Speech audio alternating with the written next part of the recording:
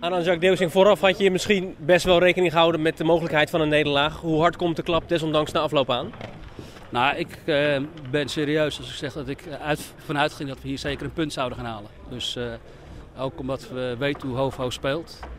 En um, ja, zoals het uitvoeren, had ik ook opgerekend dat we met name de tweede fase, de tweede helft, dat we afstand zouden nemen.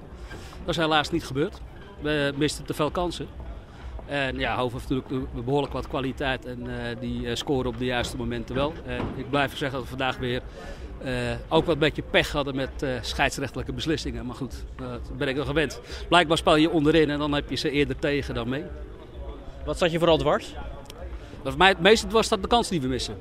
laat ik dat voorop stellen. Ik bedoel, als je zoveel kansen krijgt en zo onrustig bent op de training, al is ze wel binnen en nu niet. Uh, Dave Stett, de keeper van de tegenpartij, werd uitgeroepen tot man of the match. Dat zegt denk ik al genoeg. Dus uh, dat verontrustte mij het meest. En uh, ja, waar ik me wel aan irriteer is het niveau van de scheidsrechters dit jaar. Ik vind hele goede scheidsrechters. ik ben twee jaar niet actief in de zaal geweest. En afscheid genomen met hele goede scheidsrechters die ik nu gewoon ja, stukken minder verfluiten. totaal niet met z'n tweetjes moeten ze, moeten ze consequent fluiten. En dat doen ze niet. Waar de ene in de eerste helft uh, geel voor geeft, uh, gebeurt het in de tweede helft niet. Dat soort dingen. Dus daar irriteer ik me ook aan, het niveau van de scheidsrechters. We hebben het vaak gehad over het proces waarin jij zit met deze ploeg ja. in opbouw. Uh, dan is het wachten op die eerste overwinning die nog altijd uitblijft. Maar heb je vandaag gezien dat de ploeg dat juk van zich af probeerde te spelen? Nou, daar, daar zijn, we zijn niet zozeer bezig met die eerste overwinning. We zijn bezig gewoon per wedstrijd de wedstrijd te winnen. Dus en volgens mij heb jij geen, geen ploeg gezien die bezig is met het juk van zich af te spelen. Nou, maar juist in, in positieve zin. Ze, ja. ze, ze, lieten zich bij de, in de eerste helft bij tijd en wijle van hun beste kans zien. Ja, nou ja, en in de tweede helft creëren we behoorlijke kansen. Dus uh, hebben we denk ik ook van ons goede kant laten zien. Uh, nou, ik, uh, ik, we spelen net zoals de vorige wedstrijden met uitzondering van één wedstrijd, dus Veerhuis. Dus het is een, een, een, een, proces waar we in zitten. We met, met een nieuwe ploeg beginnen met jonge jongens.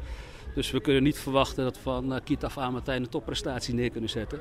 Dus ik zie uh, zeker goede ontwikkelingen. Maar ja, uh, we, we, belonen onszelf steeds niet. Dat is, dat is het probleem. En ja, dan kan je kwaad worden, maar dat heeft geen zin. Dus het enige wat je kan doen is blijven werken aan vertrouwen. En zorgen dat op trainen afronden automatisme wordt. En dat je het in de wedstrijden dan blindelings doet. Worden dit dan de weken van de waarheid? Nee hoor, de, de, de waarheid, daar maak ik geen zorgen om. Uh, ik heb je voor de wedstrijd al gezegd dat uh, uh, de wedstrijd die wij gespeeld hebben, dat we bijna heel het linkerrijtje gehad hebben.